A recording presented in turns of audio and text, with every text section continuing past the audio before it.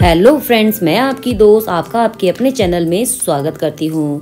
तो जैसा कि आप वीडियो में देख रहे हैं कि आज मैं बहुत ही इंटरेस्टिंग और बहुत ही डिलीशियस रेसिपी लेकर आई हूँ आप सबके लिए, और ये बहुत महँगी भी है, ये समझ लेना बस।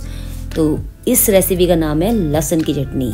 तो महँगी हुई ना, क्योंकि लहसुन के रेट आजकल तो आसमान छू रहे हैं। तो फ्रेंड्स ये रेसिपी बहुत ही टेस्टी चटनी बनाना बहुत आसान है और ये राजस्थान की बहुत फ़ेमस चटनी है। तो वीडियो को पूरा देखना, तभी आपको पता चलेगा कि ये डिलीशियस चटनी आप अपने घर पे कैसे बना सकते हैं। तो फटाफट से शुरू करते हैं। तो सबसे पहले हम क्या करेंगे? लहसन ले लेंगे। मैंने 250 ग्राम लहसन ले लिया है। इस तरीके से इसको छिल लीजिए। ये मोटा लहसन आ रहा है आजकल। मार्केट में ईजीली अवेलेबल हो जाएगा। और इसको लेके हम इस इमाम दस्ते में कूट लेंगे। तो हमें ये सारा का सारा लहसन में अच्छे से पहले छिल के आप इसको इमाम दस्ते में डाल दीजिए कूटने के लिए। और इसको अच्छे से कूटना है रैंडमली इसको मिक्सी में नहीं पीसना, इसको सिलबट्टे में नहीं पीसना, इसको सिर्फ़ ऐसे ही इमाम दस्ते में पीसना है। अगर आपके पास इमाम दस्ता नहीं है तो आप सिलबट्टे से भी हल्का हल्का कूट सकते हो या गिलास में बेलन के साथ भी कूट सकते हो तो इस तरीके से आपकी लहसुन अच्छे से कूट जाएँगे। तो जब लहसुन अच्छे से कूट लो तो इसमें हम एक टीस्पून लाल मिर्च डालेंगे। तो ये लाल मिर्च का पाउडर है, ये एक टीस्पून हम इसी इमाम दस्ते के अंदर डाल देंगे।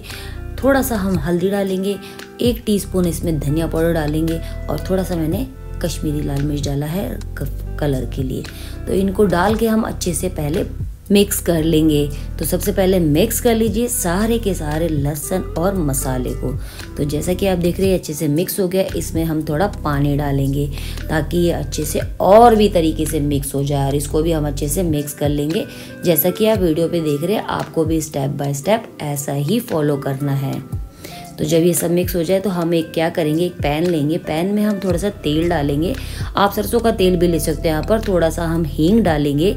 एक चौथाई चम्मच हींग और हाफ़ टी स्पून इसमें जीरा डालेंगे। और जो हमने लहसन का पेस्ट बनाया है मतलब दरदरा कूट के उसमें मसाले वगैरह डाला है, वो हम इस तेल के अंदर डाल देंगे और अच्छे से इसको चलाते रहेंगे लगातार थोड़ी देर तक।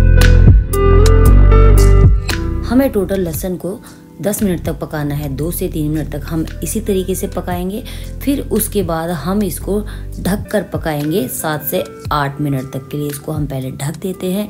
जैसे ही दस मिनट हो जाएँगे, उसके बाद हम ढक्कन को हटाएँगे और हम देखेंगे सबसे पहले इसमें चमत्कार। तो जैसा कि आप वीडियो में देख रहे हैं, ये देखिए इसका कलर कितना डिलीशियस लग रहा है ना। फ्रेंड्स, जितना डिलीशियस लग रहा है ना टेस्टी भी है। तो गैस की फ्लेम को ऑफ़ कर दीजिए और इसमें थोड़ा सा नमक डाल दीजिए अपने स्वाद के अनुसार और इसको अच्छे से हम मिक्स कर लेंगे। गैस की फ्लेम को ऑफ़ करके नमक डालना है और इसको अच्छे से चला लीजिए। नमक वगैरह सब अच्छे से मिक्स हो जाए, उसके बाद हम इसकी प्लेटिंग कर देंगे। तो ये देखिए फ्रेंड्स चटनी दिखने में कितनी डिलीशियस लग रही है। तो अभी मैं आपको बिल्कुल सामने से दिखाती हूँ। तो ये देखिए कितना डिलीशियस लग रहा है। फ्रेंड्स एक बार इसे आप घर में ज़रूर ट्राई करना और मुझे ज़रूर बताना कि आपको रेसिपी कैसी लगी।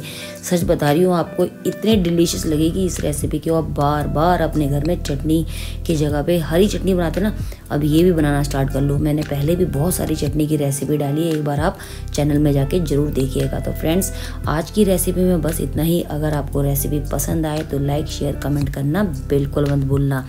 अगर आप मेरे चैनल पर नए हो तो प्लीज़ चैनल को सब्सक्राइब करके जाना और साथ ही साथ बेल आइकन प्रेस करना ताकि हर वीडियो की नोटिफिकेशन सबसे पहले आपको मिले। अगर आपने पहले से सब्सक्राइब कर रखा तो उसके लिए बहुत ज़्यादा धन्यवाद। तो फ्रेंड्स आपको मिलते हैं नेक्स्ट रेसिपी में कुछ डिलीशियस खाने के साथ। Bye bye